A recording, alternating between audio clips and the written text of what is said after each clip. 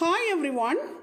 In this video, we are going to see the meaning of some idioms and phrases with the examples. The first one is coup de grace. Coup de grace means a death blow given to an individual or an animal who or which has been very badly injured. Nowadays, it refers to an action that puts an end to something. அதாவது ஏற்கனவே காயம்பட்டு இருக்கக்கூடிய ஒரு மனிதனையோ அல்லது அனிமலையோ கொல்றதுக்காக use பண்ணக்கூடிய final ப்ளோவை தான் நம்ம QT கிராஸ்னு சொல்றோம். நவடேஸ் ஒரு காரியத்தை முடிவுக்கு கொண்டு வர நம்ம பண்ணக்கூடிய செயலை தான் கியூடி கிராஸ்னு சொல்றோம். For example an unfortunate car accident dealt the coup de grace to his acting ஒரு அன்பார்ச்சுனேட் கார் ஆக்சிடென்ட் அவனோட ஆக்டிங் கரியரை ஒரு முடிவுக்கு கொண்டு வந்துருச்சு அப்படிங்கிறது இந்த லைனோட meaning the next word is crow's feet crow's feet means the wrinkles that appear by the side of someone's eyes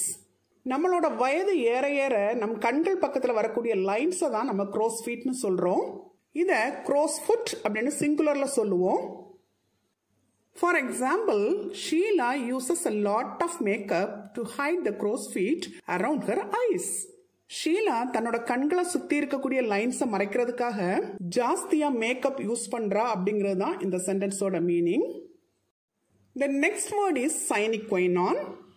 sine qua non means something that is absolutely essential or absolutely necessary அதாவது இந்த வேர்டுக்கு ரொம்ப ரொம்ப important ஆனது அல்லது ரொம்ப அத்தியாவசியமானது அப்படிங்கிற அர்த்தம். இந்த வேர்டை மோஸ்ட்லி நம்ம ஃபார்மல் கான்டெக்ட்ல தான் யூஸ் பண்ணுவோம். For example in my opinion patience is a sine qua non for a teacher ஒரு டீச்சருக்கு பொறுமை அப்படிங்கிறது அத்தியாவசியமான ஒன்று அப்படிங்கிறது என்னோட ஒப்பீனியன் அப்படிங்கிறது இந்த லைனோட meaning the next word is sine die or sine die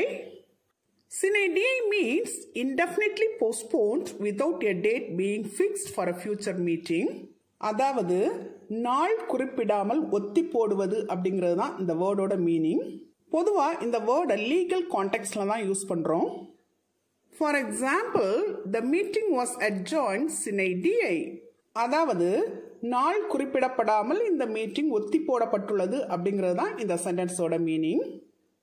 then the next word is sangfroid Sang-froid means the ability to remain composed or calm in a dangerous or difficult situation. அதாவது எந்த ஒரு டேஞ்சரஸான அல்லது டிஃபிகல்ட்டான சுச்சுவேஷன்லையும் ரொம்ப கம்போஸ்டாக காமாக கூலாக இருக்கிறது அப்படிங்கிறது தான் இந்த வேர்டோட meaning for example Abhi behaves throughout with a certain sangfroid அதாவது அபி எல்லா இடங்கள்லையும் எல்லா சுச்சுவேஷன்லையும் ரொம்ப காமாக கம்போஸ்டாக பிஹேவ் பண்ணுவான் அப்படிங்கிறது தான் இந்த சென்டென்ஸோட meaning the next word is savoir-faire savoir-faire means the ability to say or do the right thing or what is appropriate for the occasion அதாவது